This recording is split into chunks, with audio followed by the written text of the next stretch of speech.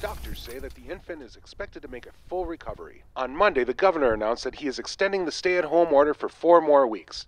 Armed protests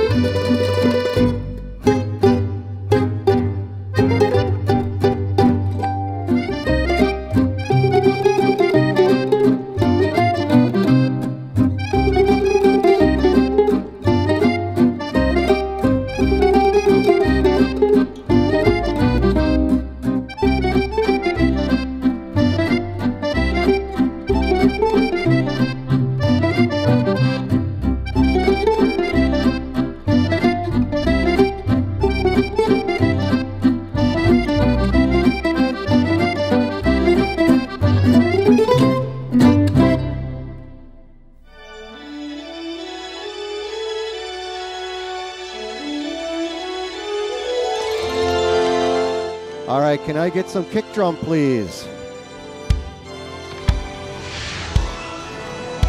Can I get the snare, please? Snare. All right, thank you. Hey, guitar. Oh, oh, God, you got to turn down a little bit. Please turn down a little bit. Thank you, thank you. A little bit more. Thank you, thank you. Yeah, that's about right. Thanks. Okay, we got about five minutes, guys.